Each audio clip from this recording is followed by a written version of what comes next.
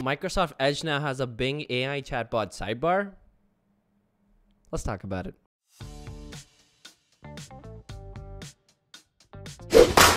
Welcome to Clean Tech, home of daily technology news and reviews, and today we're going to be talking about Bing's AI chatbot in Sidebar on Microsoft Edge. Today's video is brought to you by CleanPhone. More on them at the end of the video. So, as per the headline, Microsoft Edge now has a Bing AI chatbot in the sidebar. For those of you that don't know, that's basically Microsoft's response to ChatGPT.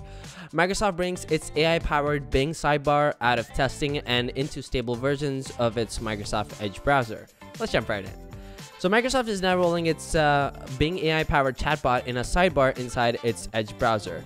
The Bing sidebar was initially only available in dev versions of Edge, but now it's rolling out to stable versions of Microsoft Edge on both Windows and Mac OS. And we're gonna go ahead and actually take a look at how exactly you'd be able to uh, access it in just a second here. Uh, the new sidebar appears as a big button at the top left of Edge, and hovering over or clicking on it will activate the new Bing chatbot experience. Uh, if you're a member of the Bing, uh, sorry, the Bing preview, uh, you can use the chat function to ask the chatbot questions or uh, the compose option to generate text for emails, blog posts, letters, and much more.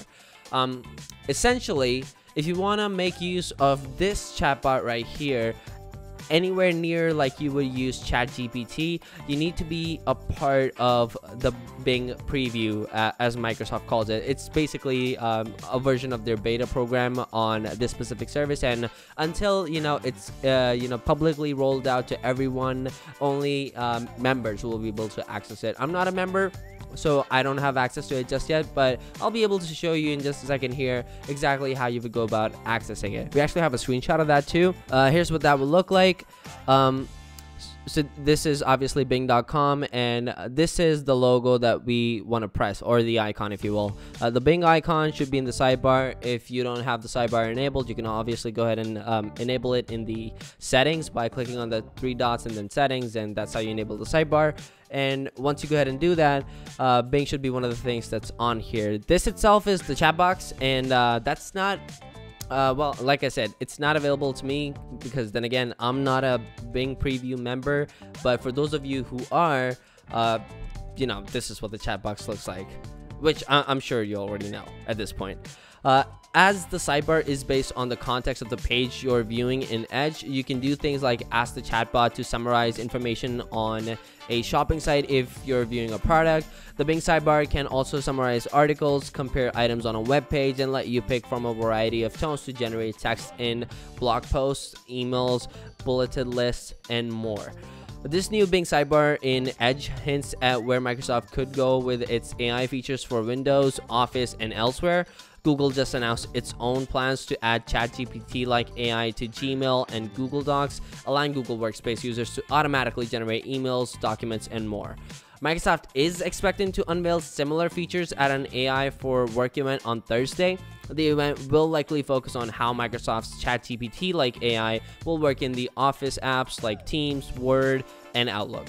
Microsoft launched a similar new generative Copilot AI experience in Microsoft Dynamics 365 and Viva Sales earlier this month, which uses the Azure OpenAI service to automatically create sales emails. And um, uh, I, I, guess that's uh, that's uh, exactly where you draw the distinction. Uh, ChatGPT, or at least in its current form, uh, is used to basically achieve uh, set tasks. Okay, obviously uh, contextual or textual related at this point, from what I hear. And um, you know, you basically tell it to do stuff, and it just does it for you, right?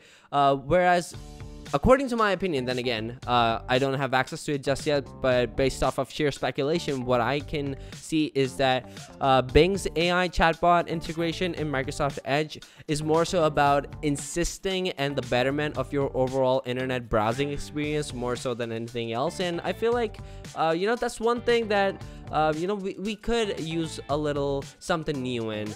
And because um, you know surfing the internet has been pretty much the same uh, since uh, you know the 20th century. Not a whole lot has changed. Sure the websites and what's available on the internet has changed you know every single second at this point. I feel like you know there's uh, new websites, new services, new companies. Uh, you know, just a whole lot of content available. So there's a lot more for you to consume, but uh, how you actually go about consuming said content that has relatively stayed the same in my two cents. And I feel like um, you know having an AI assistant to like bring something new to the table or to enhance the overall experience while you're using the internet or um, the browser uh, you know I, I feel like that's just something that's uh, you know worth mentioning at least uh, praiseworthy in my opinion.